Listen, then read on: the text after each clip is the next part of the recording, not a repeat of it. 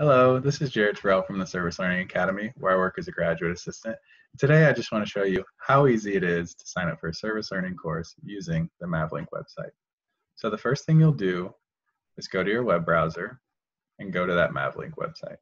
On the left-hand side, you can see enrollment, and then click on class search.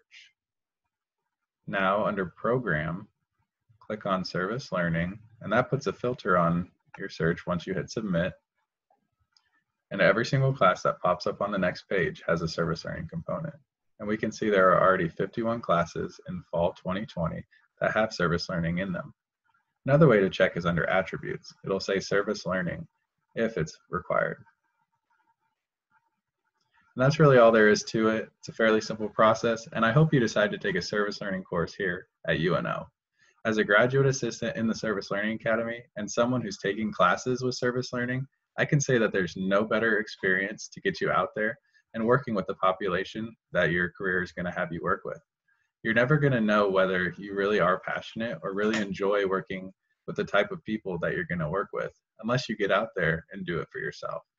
I hope this video was helpful for you. If you have any questions, feel free to contact your professors about it or us at the Service Learning Academy at unosla at unomaha.edu. Thank you and have a great day.